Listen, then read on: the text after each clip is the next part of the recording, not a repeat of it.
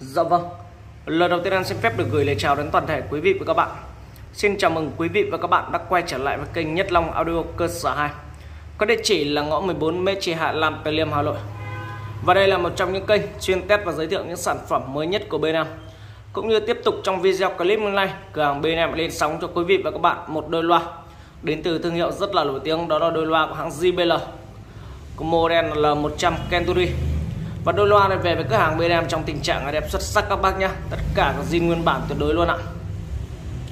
Loa cực kỳ là đẹp các bác nhé em sẽ quay cũng như là tổng thể từng chi tiết, bộ độ sắc nét của đôi loa để cho các bác xem.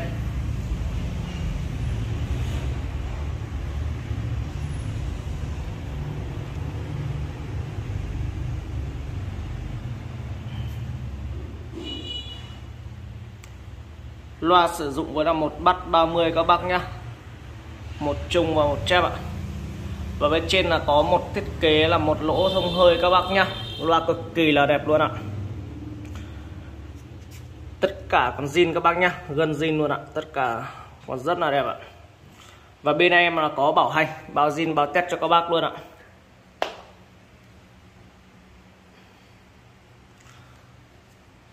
Và đây là cũng như là phần thông số hay là cấu hình của đôi loa. À, loa JBL model là 100 Kenturi xuất xứ là USA các bác nha cực kỳ là đẹp ạ.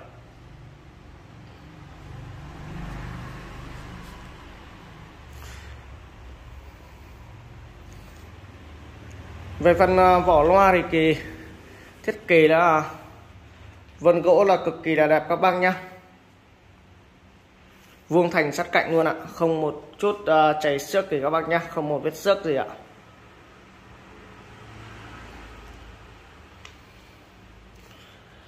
Vân gỗ cực kỳ là đẹp các bác nhá.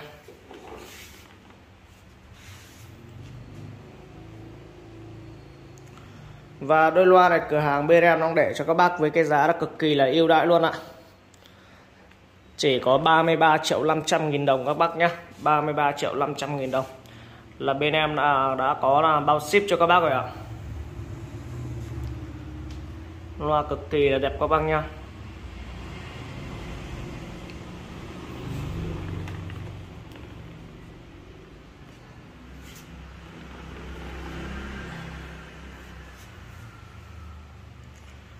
Và cũng như là các bác nào có yêu quý kênh, cho em xin muốn nút đăng ký ở góc phải bên màn hình để được nhận những video hay là sản phẩm mới nhất của bên em. Và cũng như là các bác là có ở quanh khu vực Hà Nội thì có thể qua số nhà 147 ngõ 14 Mê Trì Hạ Lam Tây Liêm, Hà Nội để trao đổi trực tiếp với cửa hàng bên em ạ.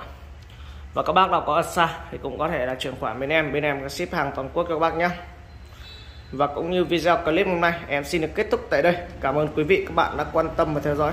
Xin kính chào và hẹn gặp lại quý vị các bạn trong video tiếp theo.